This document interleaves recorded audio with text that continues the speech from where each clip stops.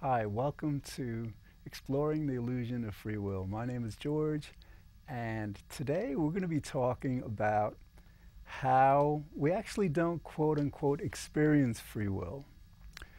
Okay, I want to first start out, you know, just by describing why, you know, I'm doing this show. Um, this this myth, this this um, illusion that we we actually have the ability to choose our thoughts, um, choose our feelings, you know, just to decide what we want, has been prevalent, you know, at least um, from the beginning of civilization. We tend to hold ourselves responsible and each other responsible for what we do. And uh, when we do that, you know, it causes harm. You know, because when we hold ourselves and each other responsible, then we say to ourselves, well, you know, if we've done something wrong, we deserve to be punished. So we punish ourselves and each other. Um, or, you know, yeah, in the case of ourselves, we'll, we'll, hold, we'll feel guilty, we'll feel the pain of guilt. So, um, and, you know, aside from that, it's just the idea that, like, you know, considering all the evidence, you know, all the evidence that, that demonstrates that we don't have a free will, um, for, for our whole entire civilization and society be, to be structured on this premise that we do just is like it's bewilderingly um, curious. It's just, it, it, would seem like basically what I'm saying is like the, the purpose of the show is that I, I believe, you know, I predict that we can create a better world, a more compassionate and understanding world through transcending this illusion. Okay. Um, now, these shows are, are going to be um, online. If, if, if, you don't catch them on, on cable TV, they'll be on the website called um, causalconsciousness.com. Okay?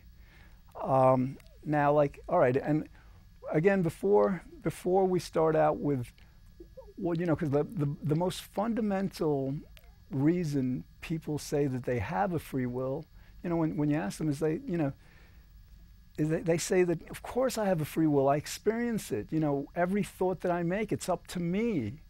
You know, but as we'll see, we'll, we'll see that that actually isn't the case. You know, it's not a free will. But before we go into that, I just want to describe, uh, define um, what people mean when they say that they have a free will.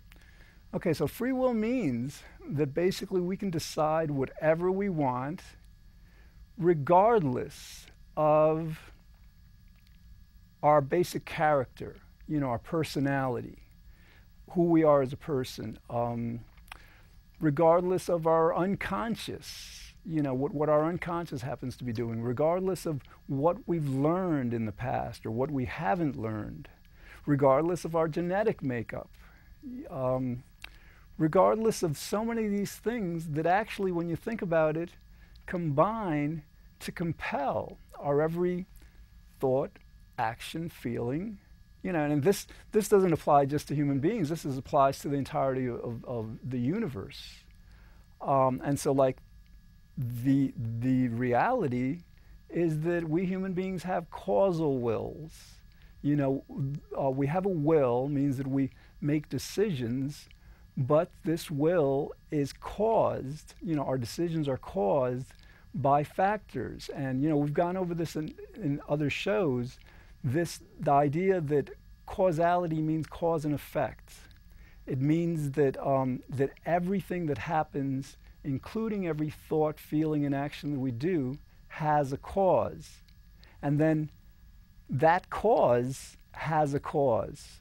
You know, because everything must have a cause. You can't have things going on in the universe that are not caused. Okay, so um, so basically that's what we mean. We mean that's what you know. It's the idea that um, we actually, the universe is causal, so our human will must be causal.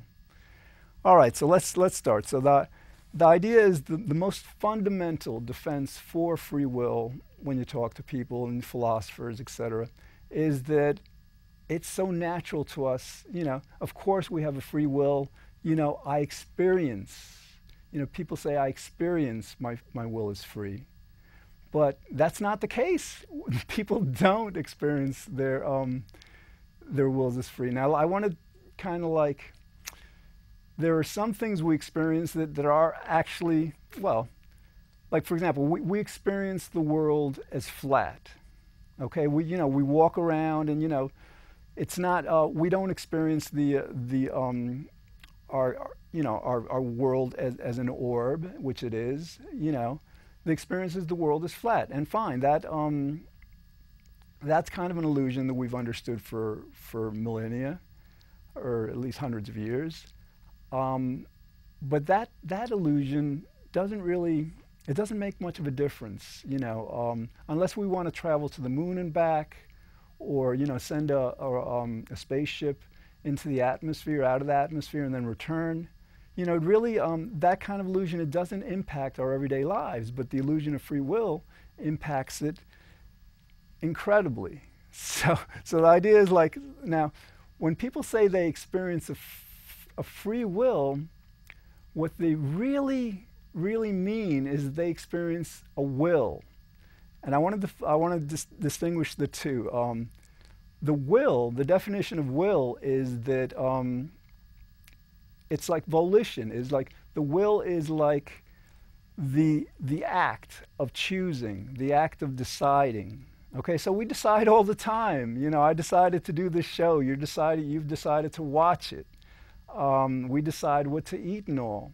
So that's not, but that's not the, um, what people claim. People claim that these decisions are free of the causal past, free of how their parents raised them, free of their desires, you know, free of, of um, for example, if, if they're uh, given a choice between an apple and a corn muffin, you know, um, their choice is going to be based to you know, to a great extent on which they prefer, which tastes better to them. And we don't, we don't get to choose, you know, our tastes. We don't get to choose our desires. I mean, there's many ways of describing, you know, the different factors that, that make free will impossible. But certainly um, taste, you know, our, our, our preferences for different foods is one. So, so the idea is like when people say that they experience a free will, it's not, it doesn't jive with their actual experience. Um, what, what, the, what they really mean is that they're experiencing the will, that they're experiencing that they do have a will. And I want to I want to get into how how people came to um, to make this kind of mistake in, in their um, in their considerations, in their evaluation of, of human will. Um, and you know, we can only speculate on this, but for example, in history, um, there was St. Paul who wrote in Romans um, a statement to the effect that, well, you know, I, I want to do good. You know, I want to do um, good uh, as much as I can, but sometimes I find that I can't. Okay, so St. Paul actually is, um, is describing what, what this show is about. You know, just like if we had a free will, then um, every act would be up to us. Every decision would be up to us, every moral decision. So if St. Paul wanted to be completely good, never make a moral mistake, if he had a free will, he could. But he realizes that, um, that he can't. So he, he kind of like brings up the, the whole issue of will in Christianity. And it's not until, I think, about 500 AD when St. Augustine is grappling with the question of, of evil you know, of um, just uh, punishment and, and, and just blame and all. And like he, he kind of like says to himself, well, wait a minute, you know, if God is all good, um, then we can't blame God. So like if we do something wrong, it must be our fault. And actually, this is kind of interesting because I was doing some research last night on um, good and evil, you know, within the Judeo-Christian context. And actually in Isaiah, there's a statement that God says that, you know, I create everything. I create both good and evil. So, you know, the, the, the, the, the, um, the conception that God is all good and didn't create evil is, is an, I guess, an interpretation of, of the Bible that, um, that I don't think, I'm not sure um, in Judaism it's held that way. In Christianity is, in Islam perhaps. But anyway, that's how that's how um, the term free will came to be. Um, St. Augustine wrote a book called um, De Libero Arbitrio or something like that, which is translated um, as, you know, on free will. Okay, he coined the term free will. Before that, you know, um, I don't know, people didn't think about it. I, I, think they did hold them to each other responsible. So I think they, they kind of inferred that we do, do have a free will, but, um, but it just, there wasn't a term for it. There wasn't a, a, kind of a doctrine, you know, and, and it actually, the whole question had been um, addressed by the Greeks, you know, Leucippus um, in, um, I think the fifth century BC, he wrote the first statement on, on the, the fact that our, our wills are, are determined, predetermined or causal. He, he said that like, you know, nothing happens at random and everything for a reason, which, you know, if everything happens for a reason, then that, that of course makes free will impossible. All right, so, so you've got St. Augustine saying that, well, you know, when, when we do what we do, it's completely up to us. You know, because God granted us free will. And that, you know, when you think about it from a theological standpoint, there's a, there's a contradiction because on the one hand, the teaching is that God is all powerful, that nothing happens without God wanting it to happen.